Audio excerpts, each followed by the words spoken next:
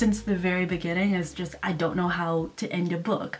I'm excited because I've been, I'm not gonna show you too much, but over here I've been like scribbling down everything um, that I've been having problems with. I also just watched this really great video by Lessons from the Screenplay. I love their channel. I highly recommend it. Um, I watched a, a, few good men writing a final battle. I'll link it in the description below, but that kind of put into works how I need to start thinking about the ending and how the ending actually, like you hint at it from the very beginning. So there's all these ideas of stakes and rules and telling what the battleground is in order to have this final final like climactic ending and although I don't really think that the two characters in the end are going to like fight off but there does need to be stakes involved. That was really helpful. It got me thinking and then talking to my mom was really helpful. I think just bouncing ideas off of somebody. She gave me this one idea where I was like that's brilliant. Why didn't I think of it? And it's because sometimes you get trapped in your own head and like you've already made grooves in how you think that the story should go that sometimes when you're on your own you don't explore other avenues. So it's really good to bounce ideas off of other people. It's uh, made some of the character interactions a little bit more definite. I think it's an ending that I really I really like. I'm I'm excited about it. It makes sense with all the character arcs that are coming into play. So really big thing that we accomplished and yeah. Hello, hello. So good afternoon, uh, good evening and good night. Truman reference. It is no longer the holidays sad as that is, it is true, but the good thing about that is now I feel like I'm back on a more regular schedule. So since I work half-time, as I mentioned before, um, I'm really trying to implement my writing as if it was my other half-time job. So um, working 20 hours per week on anything related to the book. I didn't get as much done as I wanted to yesterday, but I thought that since I actually feel awake. I'm not really groggy right now and I feel like my head can process notes. I thought I would do a little bit of research. Uh, I've been trying to study more on Filipino studies and Filipino history just because I feel like I want to incorporate all of that into my writing. And how can I do that without actually learning a little bit more?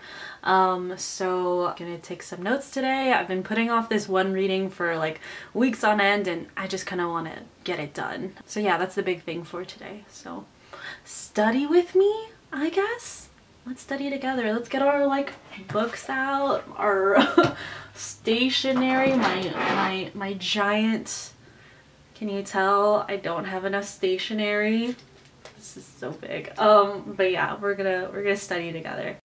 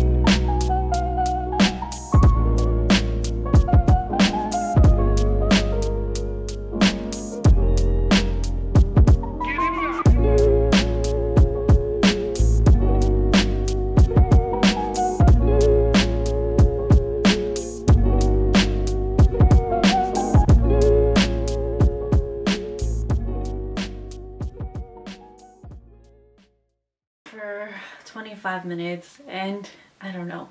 This is why I had to like study for so long is because it takes me a really long time to get through a paper because I like digesting it, I like reading it, I like mulling it over and kind of also talking about it. Scanning never does any good for me. I think what was really interesting about today, what I read, and I'm still going through it, but I'm reading White Love and Other Events in Filipino History by Vin Vicente uh, L. Rafael. Apparently there is a difference between Filipino, Filipino and Tagalog, which I never knew. Okay, so I think the difference is Filipino is based on Tagalog, English, and some Spanish. Um, but Tagalog existed before Spanish missionaries came to the Philippines. But Tagalog was actually reduced to uh, the Roman alphabet, so A, B, C, D, and so forth by the Spanish when Spanish missionaries came and colonized the Philippines. It has a history of being coded as a classical and old language versus it's still used today as a means of mass communication to popular audiences. That was a really big difference that I did not realize until today. So it it's nice learning about uh, my my heritage. I'm not entirely well lit right now, but I guess that's suiting because I feel like I I feel like I just came out of like a really dark timeline. I don't know. Uh, okay, I guess I have to share with you this part because it is part of the writing process, but I wasn't necessarily about to cry, but I was about to be like severely upset because for some reason my files got mixed up and I thought that I lost like several free writes that I had done over the course of the past few days, couple of weeks, I was about to be really upset. And it's not the same as losing like really polished chapters and having no record of them whatsoever, but it's still a lot of work that I would have missed out on if I hadn't placed it.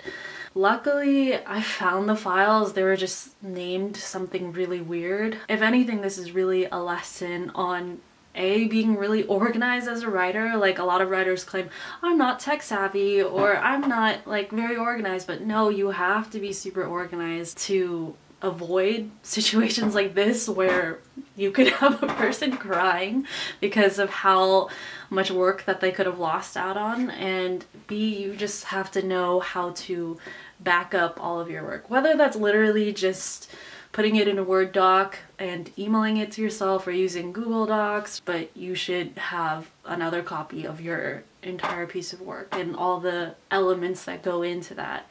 So luckily I didn't lose anything, not that I'm aware of, um, but yeah, I, I have noticed that I've been getting really disorganized with all of my files lately and it's taking me longer to write things because I can't find some of the research that I've done before and it's just everywhere. This is basically the world telling me right now, take some time to organize all this stuff on my laptop and back it up because something bad could happen if I don't and a lot of hard work could go down the drain if I'm not careful, if I'm not organized enough.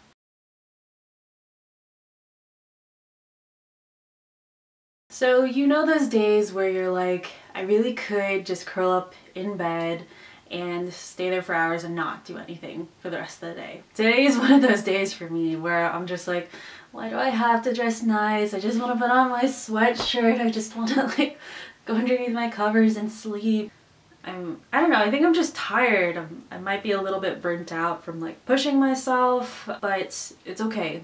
I just want to say that, that it's okay. Every creative person I know goes through this, where some days it's just harder to get things down on paper, harder to create stuff. It's not as easy as some people would like to think. Um, sometimes it's kind of painful to like actually get some ideas down on paper. And then there's also days that a creative person has where they're just blocked. I think actually one of the best things to do is to do everything except your craft and to just take a break. But for me today is not one of those days. I just, I think I'm just feeling tired and sleepy and cold um, and I just want to curl up in bed but I think I can push through that today. So today I'm actually pretty amped because I'm coming up on finalizing, not finalizing, but just fine tuning my outline a little bit better. I definitely have a better direction and I just need to polish it after this point. But I've been a little bit stuck with the act two of my novel just because everything else seems to make sense to me. I know how it should begin, like how to kick off the action and how to resolve the action, but everything in between that is still a little bit blurry for me. It's because it's my novel is at this weird point where it's like, okay, I have all the pieces, but how do I get my character to make valuable mistakes along the way that are going to lead them to the final resolution.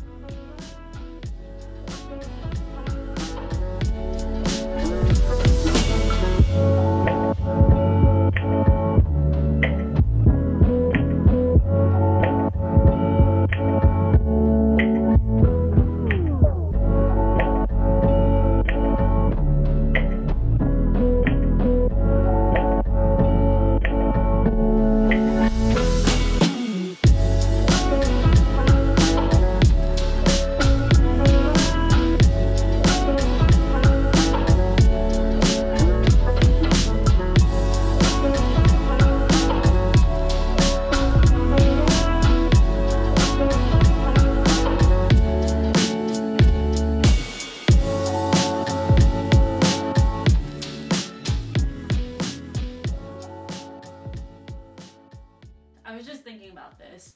Um, but I should say that creating problems for your characters is not just necessarily to make your character's life in general just miserable. And as a writer, like sure, yeah, that's that's the key aspect of it. But eh, there's always a purpose to that. You want to create a problem for your character and so when they overcome that issue or if they fail from it, they're coming out of that problem with either a tool or a lesson that's going to help them with their overarching um, problem that they have. So if I'm thinking about problems that I'm making for my characters, I first and foremost need to think about the overarching theme that I want them to learn, how I want them to transform at the end. So knowing that about your character is going to be really helpful in thinking about all these obstacles that you need to set up for them in the very beginning. see, this is why, okay, I don't know if you can see this, but this is why writing secretly takes long or planning out a novel secretly takes long is because you have all these questions about things that you just don't know about. For example, I'm looking up beach house maintenance 101. Do I own a beach house? No. Do I plan to live in a beach house? I don't know. I don't know what happens in the future for me, but I need to know how to care for a beach house or a beach-like place because my novel takes place on the coastline and it takes place in a hostel. But yeah, this the weirdest things that I need to know about generally interrupt my outline, but it's all important stuff. I'm reading The Martian. I usually don't read science fiction books like at all. It's not in my realm of writing and it doesn't necessarily initially attract me to it, but I've been trying to read more diversely and actually reading The Martian has helped me think about things in different ways and that's always very helpful when I'm trying to write something. Yeah, this isn't a book I would naturally gravitate towards because A, I'm scared of space, and B, I'm scared of just the oblivion and emptiness of space and being alone. So one could say that The Martian is the perfect book for me. I wasn't never I was never really a science person growing up. Like I appreciate science and I'm always really interested in the newest innovations of it, but my head doesn't naturally isn't naturally wired to understand scientific terms. It, it, takes me a while to, to get them. It's interesting reading this book because I'm understanding what's going on. Like I, like the plot makes sense to me at least and to understand the plot in this book you kind of have to understand the science of it. So I appreciate how the author wrote this. Unfortunately I can't make notes in this because this is my friend's. I'm just gonna read today and make mental notes in my head.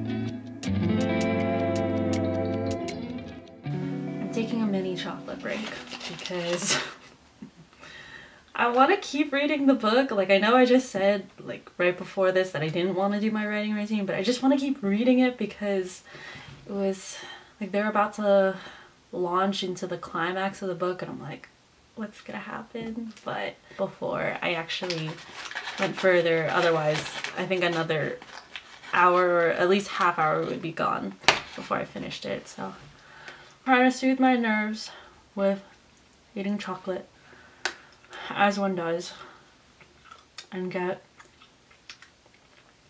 Mark Watney out of my head and my characters into my head. Oh, this chocolate's good. This chocolate's like saving me right now. Anyways, we're gonna free write. Um, and by free write, I think I'm actually going to write a scene that I had planned earlier.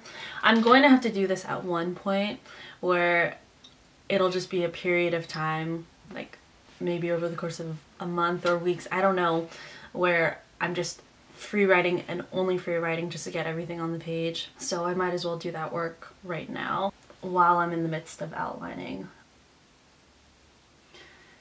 I didn't necessarily have anything planned for this rewrite. I don't know what the scene's going to look like. It's basically going to be a flashback memory of Beatrice and I kind of just left that open. So today is actually a true free write but it's in the novel.